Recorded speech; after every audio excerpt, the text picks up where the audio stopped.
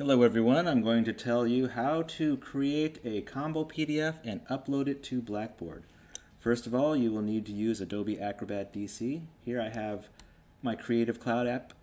I'm going to open my Creative Cloud app and I'm going to open Adobe Acrobat DC. If you do not have this app yet, it's a good opportunity right now to go to adobe.com and you can download Creative Cloud and you can access Adobe Acrobat DC currently. I'm going to open this app right now.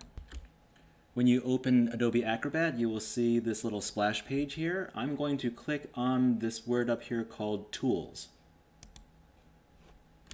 Here you'll be able to see some icons. Now there's 15 different ways to do what I'm about to show you, but this seems to be the easiest way.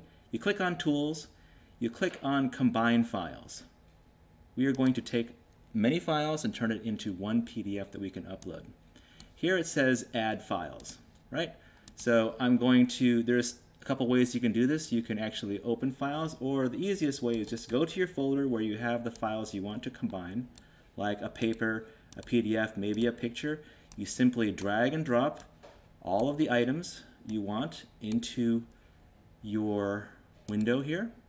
Here you have some icons. You can expand and look at all the pages of your paper. You can close it again. You can arrange the order of the pages of your PDF. I'm going to put my paper first, my PDF second, and my JPEG third. Then you're going to hit this combine button. When you uh, hit the combine button, it will take all of these items and turn it into one PDF. But the trick is, after it does this, what happens is it saves it someplace that is very difficult to find on your computer. And it also changes the name to something called Binder 1. So what I'm going to do here is I'm going to go to File, I'm going to go to Save As again, and I'm going to save it on my computer someplace. I'm going to change the name of binder 1 to my last name, first initial, homework. Now we see that here. Now I can close Adobe Acrobat DC. I can open my folder here.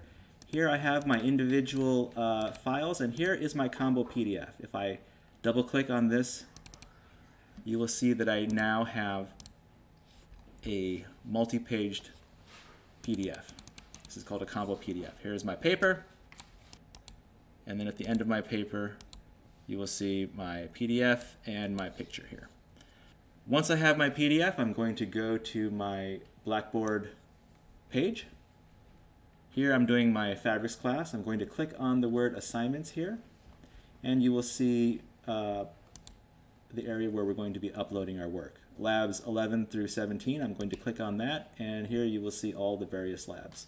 So let's say I want to upload my PDF to Lab 13 WEF I click over here.